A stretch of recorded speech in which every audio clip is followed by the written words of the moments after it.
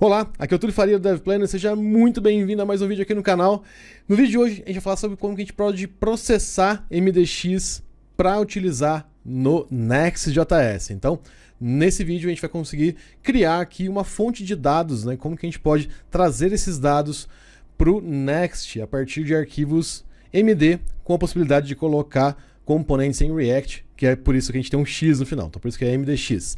E Além disso, a gente vai conseguir explorar outros cenários, tá? Então é possível você criar um blog, criar o seu portfólio, sua lista de projetos utilizando essa estratégia. Um ponto que é bastante interessante no caso do Next, a gente consegue ter várias formas de utilizar Markdown, né, que é MD e, e o MDX, que é esse Markdown estendido, que tem a possibilidade de a gente colocar componentes em React. E aqui a gente vai utilizar uma das formas que eu acho bastante elegantes, tá? Então, a gente utiliza uma forma que a gente consegue ter vários tipos de conteúdo e utilizar esses vários tipos de conteúdo. Bom, o primeiro ponto é, o que, que é um arquivo MDX? Tá? Então, o que, que é um arquivo uh, Markdown com alguma coisa a mais? O MDX ele é parecido com o Markdown que a gente utiliza no README, tá? Então, é a mesma coisa, se eu quero colocar um title, uh, eu coloco com o jogo da velha e assim por diante. Então consigo colocar código. Então ele é muito amigável para código. Então se eu quiser escrever um código em JavaScript, eu posso fazer assim. JS igual Túlio. Então a gente consegue descrever o nosso conteúdo uh, em texto uh, plano, né? então plain text, uh, ou puro, né? texto puro. e a gente consegue colocar algumas coisinhas a mais, tá? Então a gente tem alguns metadados que a gente pode colocar aqui. Então eu posso colocar, por exemplo, o title e colocar o meu título, tá? Então, meu título. Posso ainda colocar um date e assim por diante. Então eu consigo também uh, ter essa extensão aqui conhecida como front matter, tá? Então que é uh, a possibilidade de a gente processar esses campos customizados. E aí tem uma coisa que é muito legal, no caso do MDX, que a gente pode inclusive fazer o seguinte: vamos supor que no meio aqui desse conteúdo você quer colocar um componente. Então o que, você pode fazer? Você pode inclusive colocar o componente aqui no meio e ele vai renderizar esse componente para a gente. Tá? Então a diferença do MD, que é até aqui só, né? Então esse formato para o MDX é a possibilidade do no MDX gente utilizar componentes em React. Bom, para a gente conseguir fazer esse projeto, a gente vai abrir aqui o terminal. Eu vou iniciar, já tem uma pasta criada, tá? Então blog com mdx, então npm init "-y". Vou iniciar aqui a minha, meu projeto em Next. Uh, vou dar um npm install next react dom react para a gente começar o nosso projeto em Next. E uma coisa que vai ser bastante interessante, só para a gente começar a pensar aqui na organização que a gente vai fazer. Uh, deixa eu só desenhar uma coisinha aqui. Ó.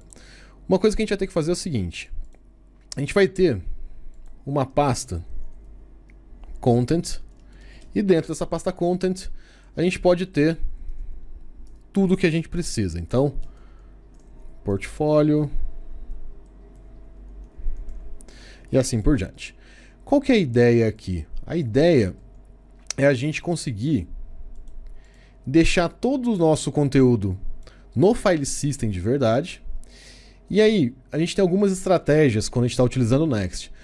Uma delas é inclusive ler esse diretório aqui e ele já renderiza para a gente. Porém, qual que vai ser a estratégia que a gente vai utilizar? A gente vai utilizar uma outra ferramenta, tá? Que chama Content Layer, uh, que é um módulo no NPM que a gente consegue fazer o seguinte: eu consigo ler esse diretório. E aí, a gente faz uma coisa que é bem interessante. Quando eu leio esse, dire esse diretório aqui, deixa eu pegar a setinha. Eu tenho algumas possibilidades a mais. Então eu consigo pegar, por exemplo, todos os posts no meu blog, eu consigo pegar todos os portfólios que eu cadastrei aqui, todos os itens de portfólio que eu cadastrei. Então, o Content Layer ajuda bastante nesse cenário para a gente. Além disso, ele junta os processadores já de Markdown e Markdown X, né, então de MDX, uh, ah, para processar esse documento para a gente. Então isso também fica bastante simplificado uh, quando a gente utiliza o Content Layer. Então a gente vai utilizar como processador aqui desses conteúdos o Content Layer, tá? Então, olha só, o que a gente precisa fazer para uh, ah, conseguir começar a desenvolver aqui. Vamos voltar aqui no nosso terminal. A gente já instalou uh, Next React React DOM. A gente vai fazer o seguinte agora: npm install content layer. Então, o content layer que vai carregar esses arquivos para a gente, vai carregar os arquivos Markdown para que a gente consiga começar a construir a nossa estrutura e ler esses, esses, esses dados, tá? Então isso é bastante legal. Já que a gente vai instalar mais uma dependência que a gente precisa aqui. Então olha só, o que a gente vai fazer enquanto vai instalando as dependências? Vamos criar um diretório, content, e aqui eu vou criar um outro diretório chamado blog. Então, dentro de content blog, eu vou manter todos os meus arquivos Markdown. Então, por exemplo, seja bem-vindo, .mdx.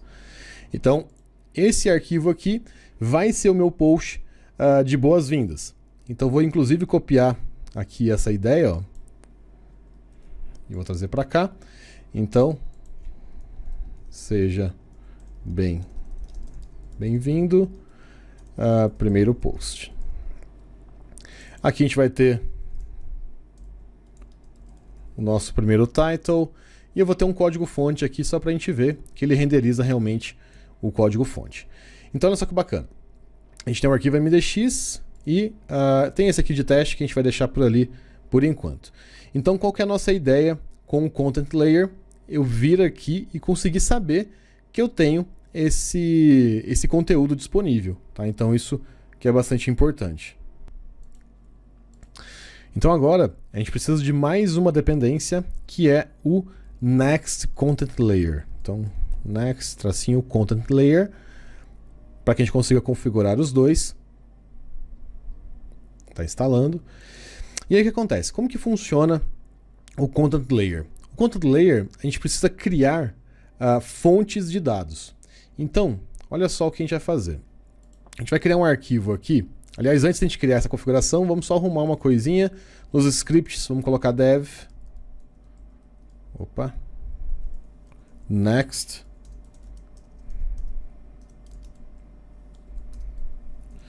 Start. E build.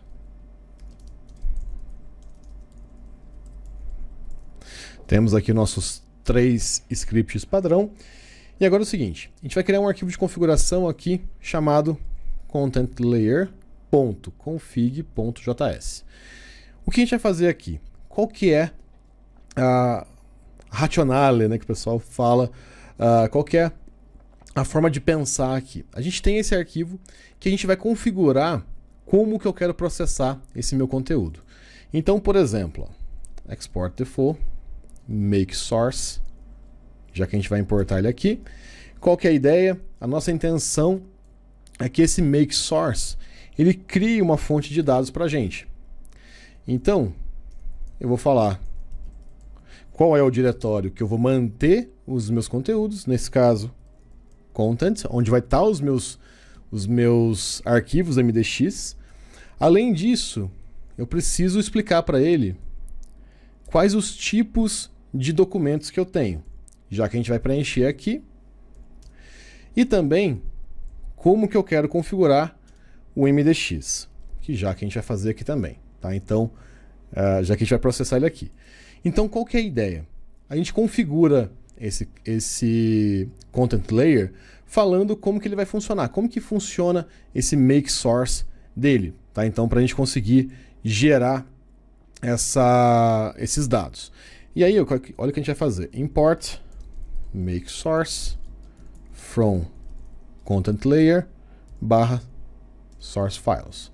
Tá? Então, essa é a forma que a gente vai pegar aqui os nossos conteúdos para processar. Tá? Então, eu vou usar aqui o make source do source files. Além disso, a gente precisa definir os document types. Então, o que, que a gente precisa fazer nos nossos document types. Por exemplo, vamos supor que eu queira criar o meu post. Né? Então, o que, que eu vou fazer? Const post é igual.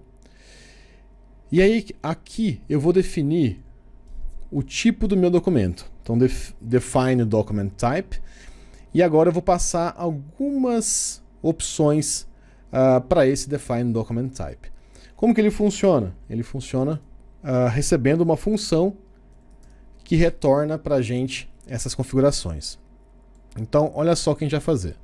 Qual que é o nome do meu tipo? O name dele vai ser post. Qual que é o file path pattern?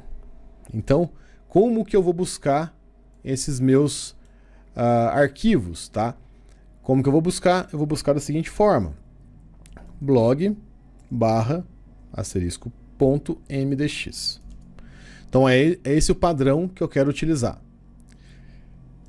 E aí eu vou falar qual que é o body type. Nesse caso, mdx.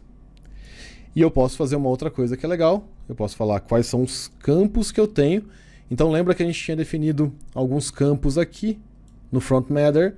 Eu consigo definir aqui tá, como que vai funcionar esses campos. Então, title é igual type string. E a gente consegue falar se ele é obrigatório ou não. Nesse caso, todos os titles são obrigatórios. Então olha só que legal. Defini meu post, defini como que eu vou buscar esse conteúdo lá dentro, qual que é o tipo do corpo dele, MDX, e uh, quais são os campos dele. Legal.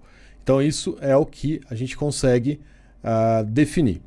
Outra coisa que é importante, a gente precisa saber qual que é o caminho desse arquivo. Então, o que, que a gente vai fazer? A gente vai fazer o seguinte, ó. A gente tem os fields e a gente tem o computed fields. O que, que é o computed fields? Uh, é como que a gente vai calcular esse caminho que eu quero colocar aqui. Então eu posso inclusive criar um objeto aqui em cima, const computed fields, e nesse objeto eu vou definir o seguinte, eu quero o slug, que é do type string, e como que eu resolvo ele? Então, resolve vai ser uma arrow function. Então, eu recebo uh, o meu documento aqui e eu vou retornar doc.underline_raw. Qual que é a ideia? Tá? É a gente pegar essa, essa source file name.replace. Então, a gente vai ter o nome do arquivo aqui e o que eu vou fazer? Eu vou trocar o Vamos pôr uma, uma expressão regular aqui. Qualquer coisa ponto .mdx no final da, da string. A gente vai trocar por nada. Então só vou tirar o mdx do final do arquivo. Então essa é a minha forma de fazer o computed fields. Uh, definir o post e agora eu vou colocar o post aqui no document types. Legal. Então essa é a primeira, primeira etapa. Uh, vamos fazer aqui também a nossa diretório pages barra index.js const home só para a gente ter certeza que está tudo certo. Então H1 home export default home. Beleza. Então, ó, já temos a nossa home, temos o content layer config que está aqui, bacanão. Uh, beleza, a gente pode rodar npm run dev só para a gente ver o que, como que tá ficando. Beleza, compilou certinho. Uh, a gente pode rodar ele agora para ver como é que vai ficar. Então, olha só. A gente, inclusive, depois pode integrar no outro projeto que a gente já tem uh, dentro da, da formação Full Stack Master. Mas vamos fazer aqui com localhost 3000. Ah, opa, aconteceu alguma coisa aqui. Esqueci de alguma coisa. Vamos olhar aqui o nosso index. Faltou o return. Já se viu esse componente todo estranho. Legal. Então temos a home aqui. Bom, o que a gente vai fazer agora? Ah, faltou uma coisa, né? Faltou, a gente percebeu que ele não carregou nada do, do content layer porque faltou a gente configurar. Então next ponto config.js e aqui a gente faz o seguinte. A gente precisa importar o nosso content layer também. Então, require next content layer. E aqui a gente tem um cara que chama with content layer e model.exports. A gente vai exportar o with content layer. A gente não tem nenhum plugin, a gente pode passar dessa forma. E uh, aqui a gente passaria as configurações do Next, tá? Então aqui as configurações do Content Layer e aqui as configurações normais que a gente passaria para o Next. Vou salvar, vou rodar novamente. Opa, tivemos algum problema aqui. Ah, sim, faltou uma coisa aqui, ó. Faltou a gente colocar um objeto vazio. Porque as configurações vazias aqui, a gente está falando que a gente não quer nada, né? Ah, vamos ver o que mais que a gente errou. Redirects. Na verdade, aqui eu tenho um problema. Deixa eu só ver uma coisa. Que eu estou rodando nessa nessa versão aqui no meu bash que está no Windows, na versão 12.18. Eu vou trocar a versão do Node para uma versão mais nova. A gente percebe aqui que ele não está conseguindo encontrar o QualiSense uh, Operator. Então vou trocar para uma versão mais nova, que no meu caso aqui, se eu rodar no WSL, eu já tenho a versão do Node mais nova. Então se você enfrentar esse mesmo problema, é só rodar numa versão do Node uh, mais nova. Então igual aqui, ó, 15.4. Uh, eu só preciso fazer uma coisa antes, como eu troquei do Windows aqui que está no Bash para o WSL que está no Linux, eu preciso remover o Node Models e instalar novamente dentro do WSL, porque agora mudou a versão do Node, né? Então mudei aqui. Deixa eu só fazer isso para a gente corrigir esse probleminha. Então, ó, apaguei, npm install. Já vai instalar tudo aqui. Bom, então a gente já instalou aqui as dependências, npm run dev. Então, olha só, a gente está rodando a porta 3000. E olha só que interessante, ó. Uh, a gente já colocou, ó, config. Ele deu até um erro aqui, inclusive, ó. Reference error, define document type is not defined. A gente precisa olhar o que aconteceu aqui. Mas reparem que ele carregou a configuração para a gente. Então agora a gente pode checar o que está acontecendo se ele não conseguiu, por algum motivo, uh, fazer isso. Bom, então vamos revisar aqui a configuração. A gente tem aqui o nosso post que está aqui, beleza. Uh, o que mais que a gente precisa? A gente tem MDX que está aqui, body type. Deixa eu só ver se não errei nada. Uh, define document, ok. Ele é um, uma função, tá certo. File, file path tá certo. Uh, o que mais? Body type tá certo, beleza. Uh, vamos ver se a gente consegue pelo menos carregar os documentos, que daí a gente tem uma ideia do que pode estar acontecendo. Então olha só, qual que seria a intenção nossa aqui? Depois que a gente faz a configuração do Content Layer, a gente consegue fazer o seguinte: import from e aqui a gente vai fazer uma coisa que é bem legal, que a gente vai importar do ponto content layer barradeira. Qual que é a ideia? Uh, quando a gente roda o content layer, ele processa os nossos tipos e ficam aqui dentro. Então, aqui a gente pode perceber que ele não, ele não funcionou. Que caso contrário, ele já teria mostrado pra gente aqui, ó. Vamos ver se está se tá certinho. Ah, até que está aqui, ó. Então, types. Ó, ele não conseguiu pegar ninguém. Então, vamos ver o que aconteceu. Na verdade, eu esqueci de importar o define document type, por isso que ele não estava define document type. O erro quando a gente muda nele ali é bem diferente, né? E percebeu que eu troquei, já coloquei o define document type, ele já apareceu aqui que ele percebeu uma mudança no content layer e ele já gerou um documento dentro do content layer, uh, no ponto content layer, né? Então, se a gente for olhar aqui na pasta, ó, a gente pode investigar inclusive o que ele está fazendo, ó. Então olha só que legal, ele já configurou todo o MDX para gente e reparem que ele exportou um post. Então a gente tem o tipo do post já ali. E olha só que legal, se eu quiser, eu já consigo importar aqui ao posts, que vai ser uh, todos os nossos posts, e eu já consigo processar os meus posts, tá? Então, eu já consigo inclusive trazer esses posts para o meu, para minha pasta aqui. Então, como que a gente vai fazer isso? Vamos fazer o seguinte: export async get static props. Então a gente vai pegar aqui os nossos propriedades estáticas da página. Aliás, faltou um function aqui. Get static props. Então, para o index, o que a gente vai fazer? A gente vai ter posts, onde a gente vai usar o all posts uh, ponto .map. Então, a gente precisa fazer um, um processamento uh, aqui. Uh, e aí a gente vai fazer o seguinte, ó, a gente tem um post, só para a gente ver o que acontece, ó. Aliás, antes de a gente mapear, vamos só fazer o seguinte: console.log, posts e return props posts. Só para a gente ver o que tem dentro. Uh, e aqui a gente pode pegar as nossas props e fazer o seguinte: pré json.stringify props no 2. Vamos ver o que vai acontecer aqui, ó, tá vazio.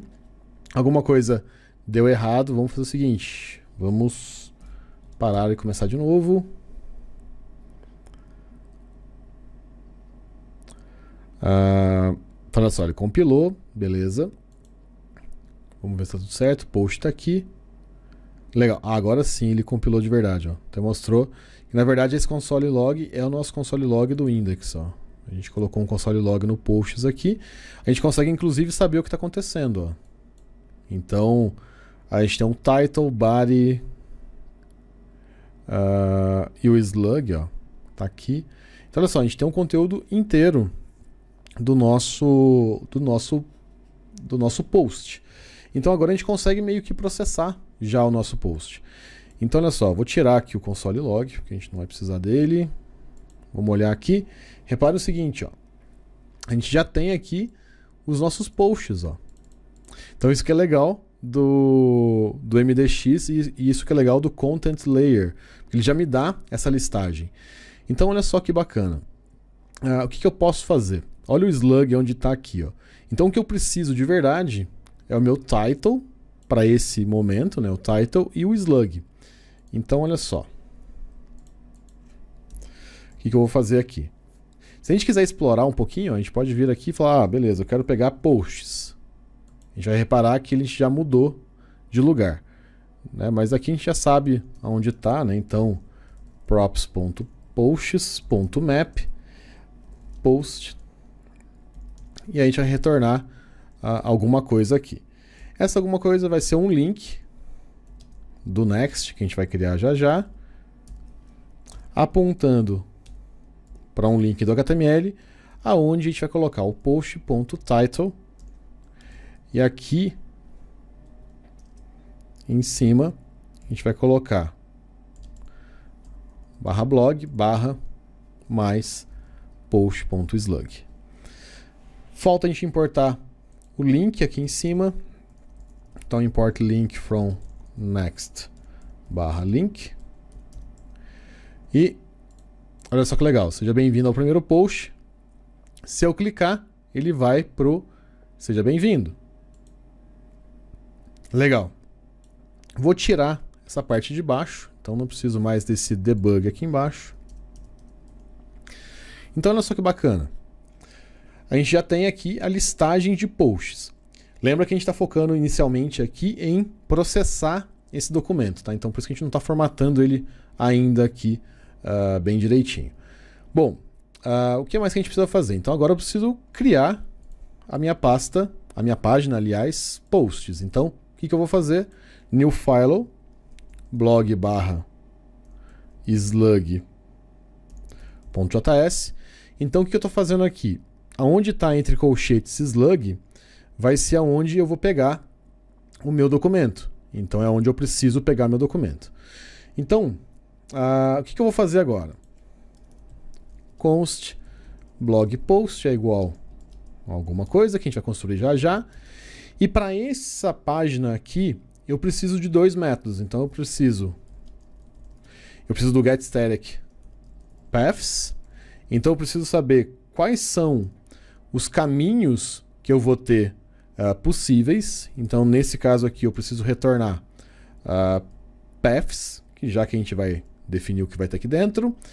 E depois que eu tenho o caminho, eu preciso definir function o getStaticProps. Então eu preciso saber como que eu vou pegar essa, uh, esses dados sobre aquele caminho. Então essa é a forma que eu tenho de gerar uma página estaticamente uh, no Next. Então agora a gente tem que pegar esse mesmo método que a gente já utilizou aqui, então o all posts, e trazer para cá para que a gente consiga fazer o seguinte. Quais são os caminhos possíveis que eu tenho uh, para os meus posts? Então eu tenho all posts, ponto. Nesse caso aqui, eu consigo uh, buscar todos os meus posts. Então posso uh, pegar pelo slug aqui. Então se eu mapear o slug, já funciona. Então, por exemplo, all posts ponto map e eu vou ter um map. O que, que eu tenho que fazer? Tem que abrir um colchete e abrir chaves. Existe um motivo pelo, pelo qual a gente tem que fazer isso. A estrutura que eu quero que saia aqui é algo semelhante ao seguinte: paths uh, vai ser um vetor, onde a gente passa parents e a gente tem um slug dentro com o slug. Então eu preciso construir essa estrutura aqui. Quando eu faço um all posts.map, eu estou construindo um vetor baseado em all posts. E aí, o, cada item meu, eu vou criar um parents, um slug, e aqui eu vou retornar post.slug. Tá? Então essa é a forma de converter all posts, que são uma lista de posts, em uma lista com parents e slug dentro. Então eu vou tirar essa referência aqui. Então, olha só, essa é a nossa ideia aqui inicial de como que a gente pega todos os caminhos possíveis dentro de posts. E agora a gente tem uma outro, um outro cenário, que eu tenho que pegar as propriedades desse post. Quando eu quero pegar as propriedades desse post, que, que eu tenho que fazer? Const post é igual. Posso usar aqui o all posts.find. E aí, o que, que eu posso fazer? Eu posso fazer aqui post.slug tem que ser igual ao que eu receber como slug. Então ele tem que ser igual a parents.slug, que é o que vai vir da URL. E aí o que mais que eu tenho que fazer? Preciso só retornar agora as minhas propriedades e colocar o meu post ali dentro. Estamos chegando lá, já que a gente está chegando. Uh, provavelmente a gente vai ter um erro aqui se eu clicar. Ó, Uh, a gente precisa de um fallback, de, que eu esqueci. Tem um detalhe que é bastante importante. A gente retorna todos os caminhos e aí eu posso falar para ele se eu vou ter um fallback uh, aqui ou não. Por que, que eu vou colocar false? Porque como eu estou colocando em MDX e ele está dentro do, do meu file system aqui, não faz muito sentido. Eu não tenho como uh, gerar novos caminhos, a não ser que eu mude o código fonte. Tá? Então, se eu tiver uma, uma fonte dinâmica de dados, eu posso colocar um fallback como true ou blocking. Tá? Isso resolve bastante também. Uh... Opa, fiz alguma coisa errada. Ah, faltou uma coisa. Esqueci de um detalhezinho, faltou exportar aqui, né? Então, return.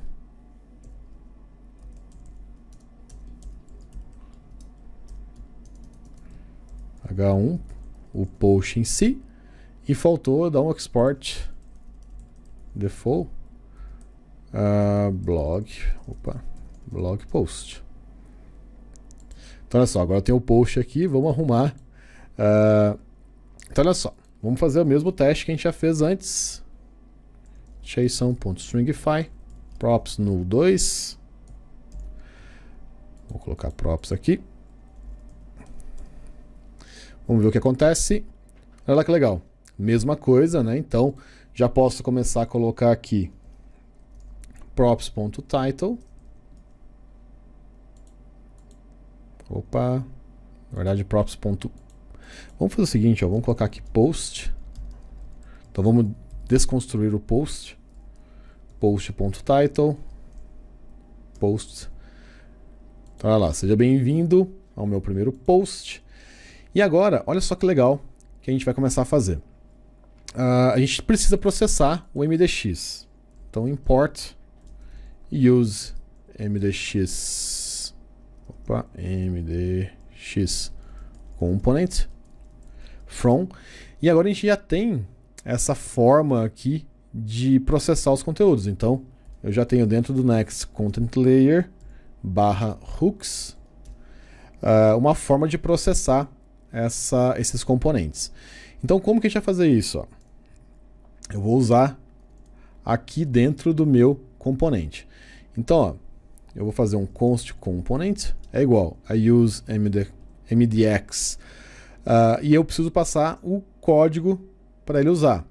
Então, quem vai ser o código? Reparem o seguinte, que eu tenho um body.raw, que é o código em Markdown, e eu tenho um code uh, que já é o convertido. Então vamos usar o code. Então post.body.code uh, e eu tenho o componente aqui, né, que tá que foi retornado. E aí eu consigo fazer o seguinte, ó, component uh, e renderizar meu componente aqui. Então olha só que legal. O Olá Mundo já é MDX, ó. Esse cara aqui ele já é um MDX para gente. Deixa eu tirar o pré, vai ficar um pouco mais claro. Que ele já é um MDX. Então, olha só que bacana. Já tenho aqui um H1 e já tenho aqui o nosso código. E aí tem uma coisa que é muito legal. Essa parte é uma parte que eu, que eu gosto bastante, que é o seguinte. Uh, e se a gente quisesse renderizar um componente lá dentro? O que, que eu faço? Então a gente pode uh, criar aqui, eu vou criar com letras minúsculas, né? então MDX Components, que é uma forma da gente converter ou customizar como que a gente vai renderizar uh, cada item dentro do dentro do, do, content layer. Então o que acontece? Esse MDX Components, a gente pode falar o seguinte, ó, eu quero que o H1 ele seja renderizado um pouquinho diferente que ele seja renderizado, por exemplo, H1 uh, ah, stylo background red. E aí eu vou renderizar aqui, ó, props.children. Então eu quero que o H1 seja um pouquinho diferente. E aí eu falo para ele aqui, ó. Opa. Com components é igual mdx components. Então eu consigo passar para ele como que ele vai mapear. Reparem que legal. Ó. Então eu falei para ele que toda vez que ele encontrar um H1, ele processa assim. Se eu não falar nada, ele fica o padrão. Então é dessa forma que a gente consegue customizar um pouco mais. E aí tem outra coisa que é bacana. Consigo fazer isso inclusive com código. Então se eu passar uh, código aqui, eu posso ter um, uma forma de processar código. Se eu quiser descobrir como é que eu posso fazer isso, eu posso fazer um pré JSON.stringify props. Então eu quero entender o que está chegando aqui nesse componente. Olha lá que legal. Ó. O children dele é só um const JS e uh, vem aqui esses dados. Tá? Então, se eu quiser customizar o meu código, eu também posso. Posso usar algum processador uh, de syntax highlight aqui que também funciona. E agora vem a cereja do bolo do X, né, que tem o X no nome. Olha só que bacana. Se a gente vier aqui, vamos supor o seguinte, que por algum motivo no seu conteúdo aqui você tem uh, o que a gente pode chamar de call to action, que seria como se fosse um botão. Então, ó, eu tenho um call to action aqui que eu quero passar o title dele como clique aqui e me envie uma cerveja. Tá, então eu quero colocar um componente lá com o nome de CTA dentro do meu MDX. Percebam que aqui não aconteceu nada. Então, aliás, aconteceu sim, né? Agora ele deu um erro. Uh, por que disso? Porque agora eu preciso fazer o seguinte: dentro do meu slug aqui, eu preciso criar um CTA e falar como que esse CTA vai ser processado. Então, ó, vamos pegar aqui, vou colocar o pré de novo, e só para a gente saber que é um CTA. Olha que legal. Ele sabe que é um componente em React e sabe que você recebeu um title. Então eu poderia fazer um botão aqui, por exemplo, ó, que é um caso de um CTA, e renderizar o props.children, aliás, props.title, e o button aqui. Então olha só que legal, eu consigo uh, fazer o botãozinho do jeito que eu quero. E aí você está pensando, ah, mas então quer dizer que esse componente ele vai ficar estático? Não necessariamente. Olha só que legal. Const counter é igual. Só para a gente fazer um teste aqui, ó. Initial igual a zero.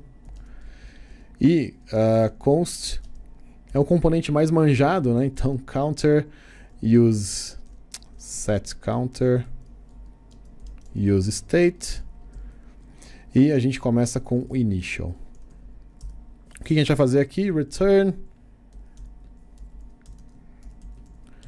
e nesse cara aqui a gente vai colocar um counter dentro de um div e aí vou mostrar o counter. E a gente vai ter um botão. Button type. Button on click.